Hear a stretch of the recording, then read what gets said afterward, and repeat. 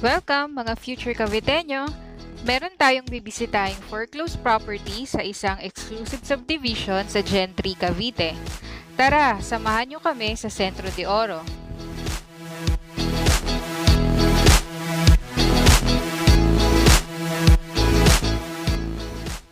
Kami po ay baguhan pa lang dito sa YouTube at malaking tulong po sa amin ang pag-like, subscribe, at pakiclick na din po ang notification bell para updated kayo sa mga susunod pa naming videos. Pakicomment na lang din po kung meron kayong mga requests or suggestions. Hindi po pala kami ahente ng pag-ibig o anumang kumpanya. Trip lang po talaga ng asawa ko magkaroon ng dahilan para magmotor.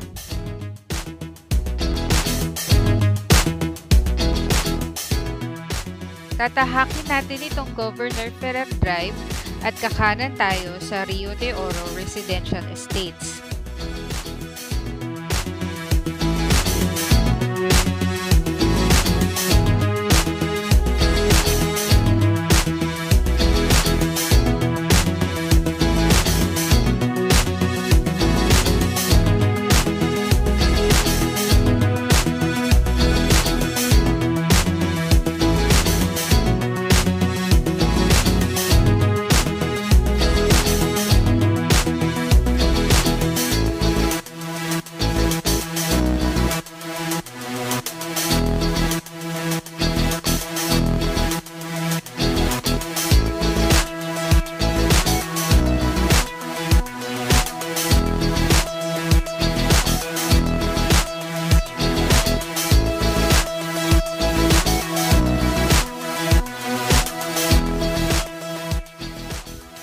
Andito na tayo sa Rio de Oro.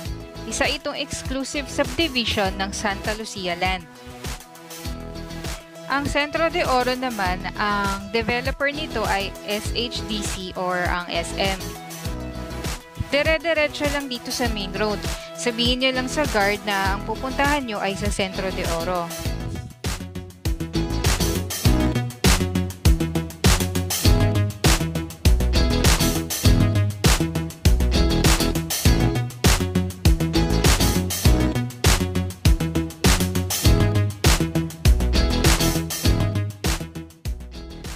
Pagdating nyo sa may dulo, may makikita kayong malaking gate at ito na yung Centro de Oro. Kung mapapansin nyo naman ay malawak yung daanan, malinis at walang pakalat-kalat na aso. Unang kanto ay kakaliwa tayo, pagkatapos naman ay kanan agad.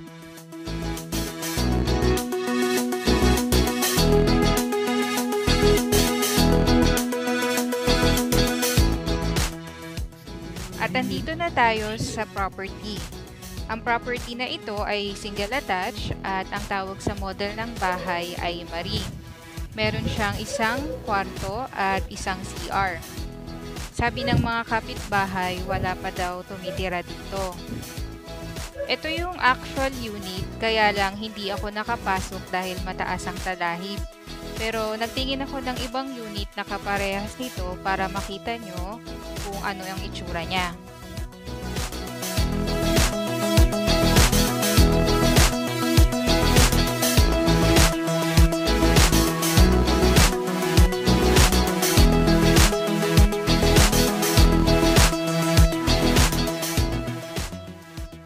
Pala yung dating brochure nitong bahay na nakita ko online.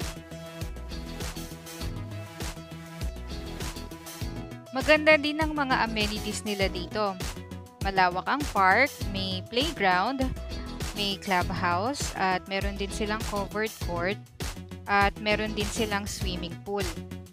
Ang monthly dues pala nila dito ay 350, tapos may construction bond sila na 7,000, pero dati pa daw yon kaya hindi lang sure yung napagtanungan ko kung ganun pa din hanggang ngayon.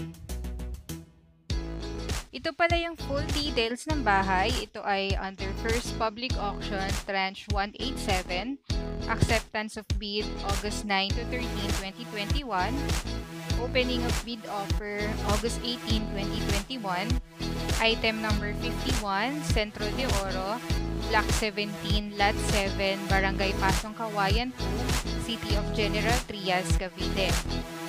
Ito ay single attached, lot area 100 square, square meters, floor area 30 square meters, at ang minimum bid offer ay 979,000. At dito na po nagtatapos ang aming video. Maraming salamat sa panunood. God bless!